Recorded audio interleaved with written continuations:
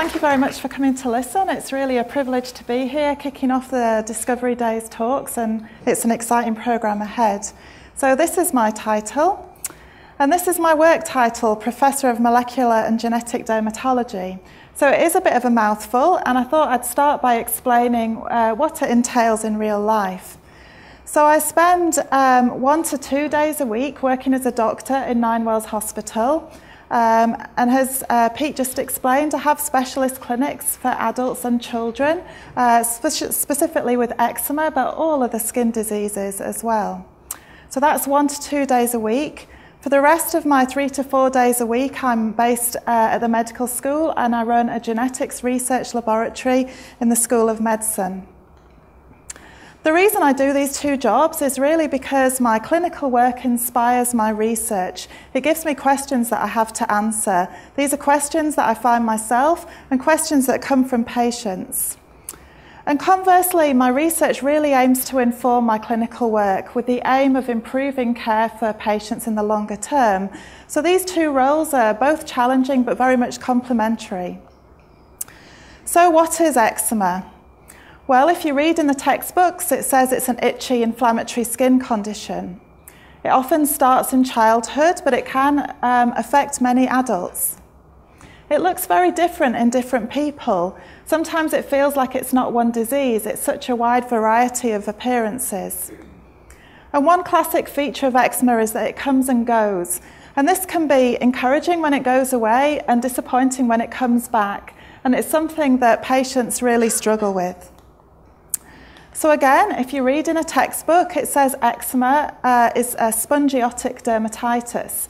And this describes what it looks like under the microscope. In some ways, it looks like a sponge.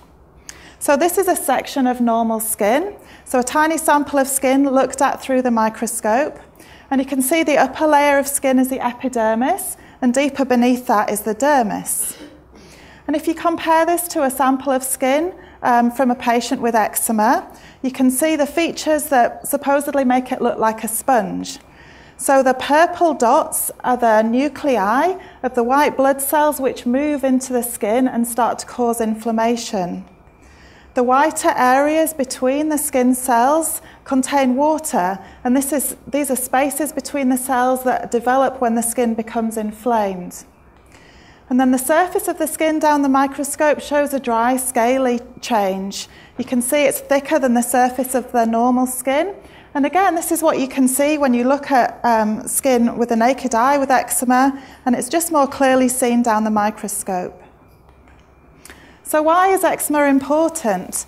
Whenever I apply for funding to do my research, the first paragraph is always eczema is a very important disease because it's a sort of thing that people um, can assume doesn't really have an impact. It's just your skin. You can take it for granted when it's working well.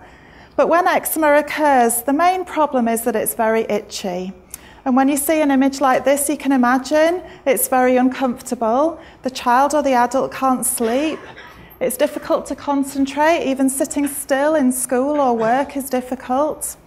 It can be painful when the eczema really flares up and gets infected. You can imagine it's embarrassing. People often feel able to comment about skin conditions, whereas if you had a heart condition or a lung condition, it's easier to hide. Eczema is also very expensive. On a personal level, patients and families uh, spend a lot of time caring for eczema. And on an NHS level, it's um, a huge drag on our resources. More than 25% of my new uh, ch childhood cases in the dermatology clinic have eczema. It's a, it's a very expensive condition. And importantly, we're, we're recognising more and more that eczema is not just a skin condition. So we know that if you start with inflamed skin like this, it can progress into the other so-called atopic or allergic conditions. And these include asthma, hay fever and food allergies. And again, increasingly, we're recognising that eczema can affect the brain and the way that um, the brain functions. So we know in childhood some eczema cases can be associated with ADHD, and in childhood or adulthood, depression can be a side effect or a, or a, um, a result of severe eczema. And the other very important thing about eczema is that it's so common, and it seems to have been becoming more common over recent decades. So if we look back to the 1960s, about, 50, about 5% of um, primary school age children had eczema. By the 1980s, this had more than doubled. And a survey that I did myself in my early research in the north of England showed that in 2008, about one in four school children had eczema. A lot of eczema resolves later in childhood, so looking at, into adulthood, still about 1 in 10 adults in the UK can have a form of eczema.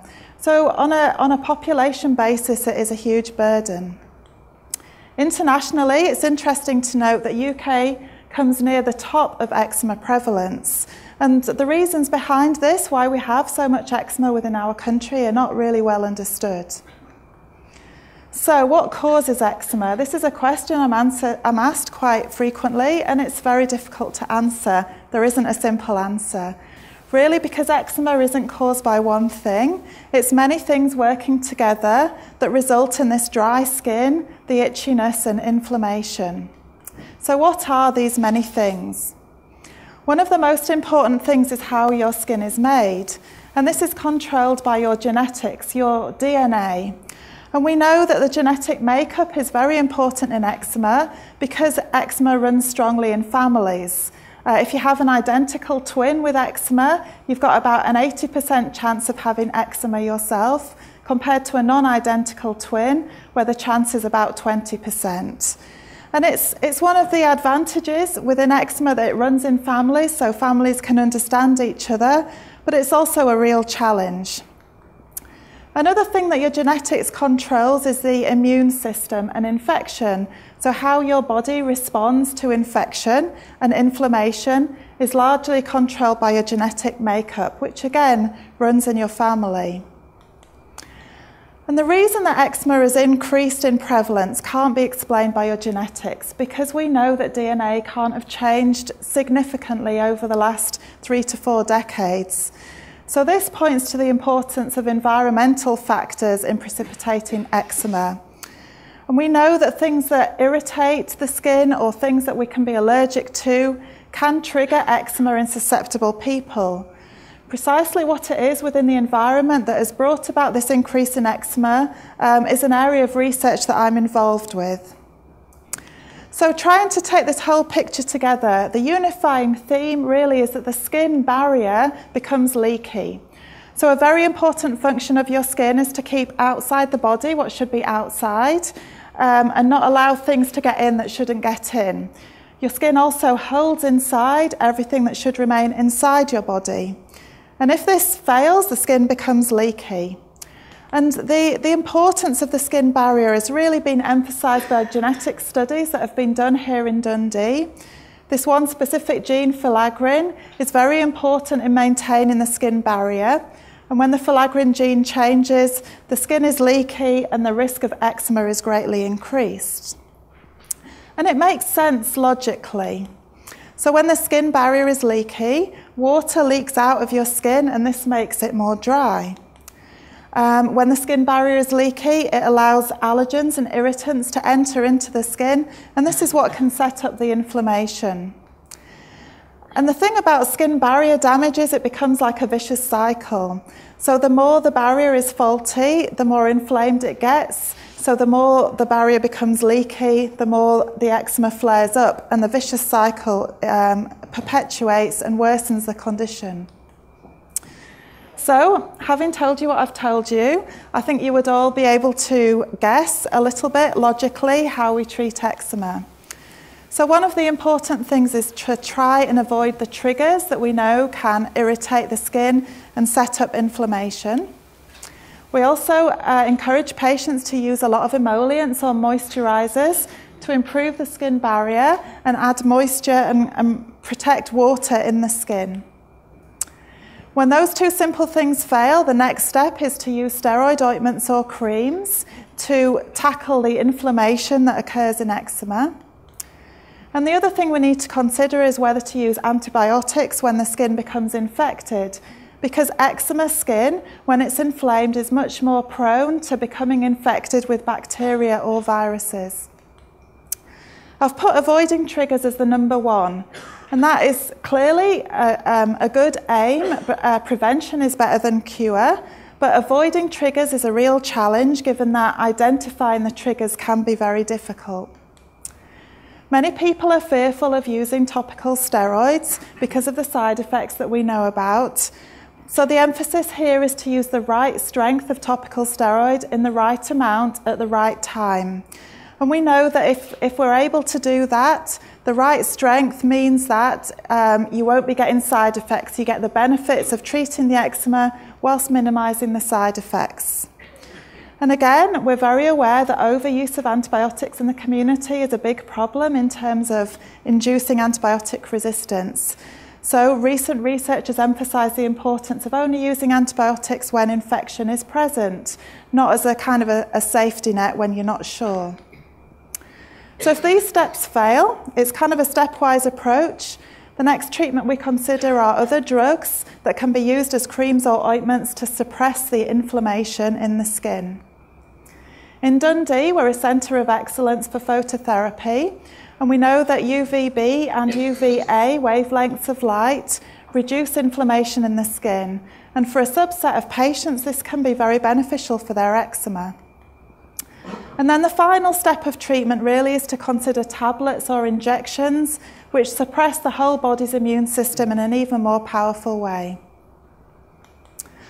But really, we do need better treatments, and I hear this loud and clear from my patients. They tell me they don't like their treatments. And as a doctor, this is, this is, this is uh, discouraging. when your patients say the treatments are sticky, messy, horrible, um, it's not what you want to hear. Many patients are worried about the side effects. I share those concerns, and that's something that we take seriously. Patients clearly would like a cure. Um, and as yet, we know that the body can cure itself. Some cases of eczema resolve and never come back. But as a doctor, I'm not able to do that. And clearly, the need for more effective treatments is there. So, this is where my research comes in. I aim to use genetics to understand the root cause of eczema to try and target treatments in a more directed way. And I'll tell you briefly about my, some of the techniques that I'm using in my lab.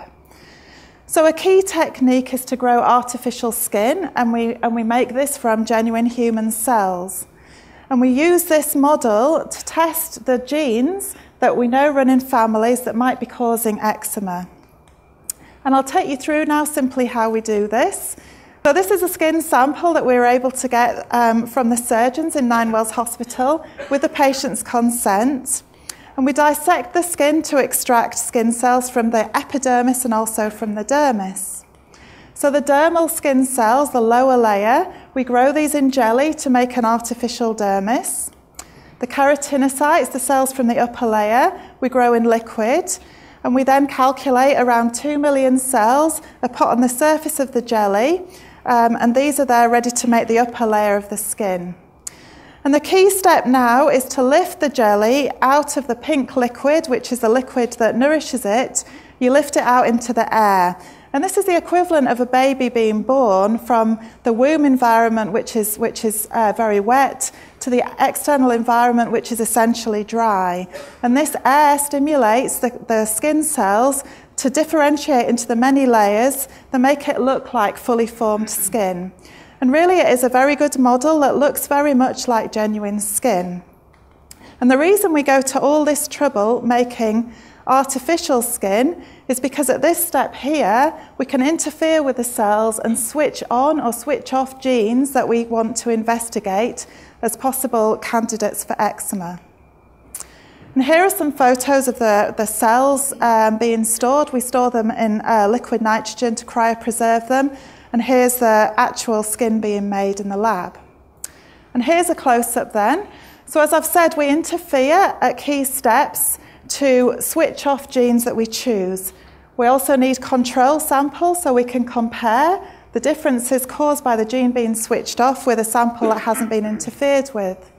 And looking closely, this little white circle is our artificial skin, and the control sample works very well. It really functions like normal skin.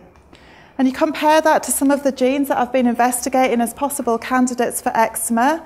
Here, the skin samples we can demonstrate are rather leaky. They allow water to escape, they're quite dry, and they allow dye to leak in through them. So these are not healthy skin, and it appears uh, to have features of eczema.